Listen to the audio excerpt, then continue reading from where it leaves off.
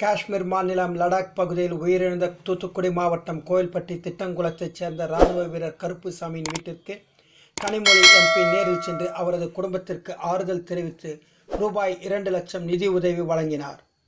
தூத்துக்குடி மாவட்டம் கோயில்பட்டி தெற்கு திட்டங்குளம் பகுதியைச் சேர்ந்தவர் கருப்புசாமி வயது முப்பத்தி ரெண்டு இவருக்கு திருமணமாகி தமயந்தி என்கின்ற மனைவியும் கன்னிகா வயது ஏழு வைஷ்ணவி வயது நான்கு பிரதீப் குமார் வயது ஒன்று ஆகிய மூன்று குழந்தைகள் உள்ளனர். இராணுவத்தில் நாயக் பொறுப்பில் பணியாற்றி வந்த கருப்புசாமி காஷ்மீர் மாநிலத்தில் லடாக் பகுதியில் பணியில் இருந்தபோது நேற்று முன்தினம் நள்ளிரவு அப்பகுதியில் பனிமலையில் நிகழ்ந்த நிகழ்வில் வாகன விக விபத்தில் உயிரிழந்தார். இதனால் கருப்புசாமியின் குடும்பத்தினர் மற்றும் திட்டங்குளம் மக்கள் சோகத்தில் ஆழ்ந்துள்ளனர். உயிரிழந்த இராணுவ வீரர் கருப்புசாமி உடல் நாளை அல்லது நாளை மறுதினம் அவரது சொந்த ஊரான கோயில்பட்டி அருகே திட்டங்குளம் கிராமத்திற்கு கொண்டு வரப்பட்டு இராணுவ மரியாதையுடன் அடக்கம் செய்யப்பட உள்ளது. இந்நிலையில் உயிரிழந்த இராணுவ வீரர் கருப்புசாமியின் வீட்டிற்கு கனிமொழி எம்பி நேரில் சென்று அவரது குடும்பத்திற்கு ஆறுதல் தெரிவித்து ரூபாய் இரண்டு லட்சம் நிதியுதவி வழங்கினார். மேலும் குழந்தைகளின் கல்வி செலவிற்கு உதவி செய்யப்படும் என்று கனிமொழி எம்பி தெரிவித்தார். இந்நிகழ்வின் போது கீதா ஜீவன் எம்எல்ஏ மற்றும் திமுக நிர்வாகிகள் உடனிருந்தனர். எமது செய்தியாளர் கண்ணைய பாரதி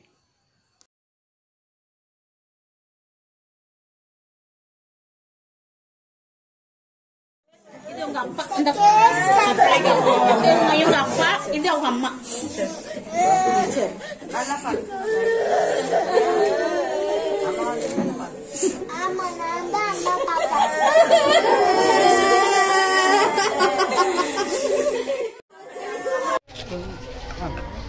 இந்த நாட்டிற்காக பணியாற்ற தன்னுடைய உயிரையும் தூச்சமாக மதித்து பணியாற்ற சென்ற இடத்திலே இன்று நம்மை விட்டு பிரிந்திருக்கக்கூடிய இந்த இராணுவ வீரருடைய குடும்பத்திற்கு என்னுடைய ஆழ்ந்த இரங்கலை திராவிட முன்னேற்றக் கழகத்தின் சார்பிலும் தலைவர் தளபதி அவர்களின் சார்பிலும் நாங்கள் தெரிவித்துக் கொள்கிறோம். என்றும் இவர்களுக்கு உறுதுணையாக நாங்கள் இருப்போம் என்ற அந்த நம்பிக்கையையும் தெரிவித்துக் கொள்கிறேன்.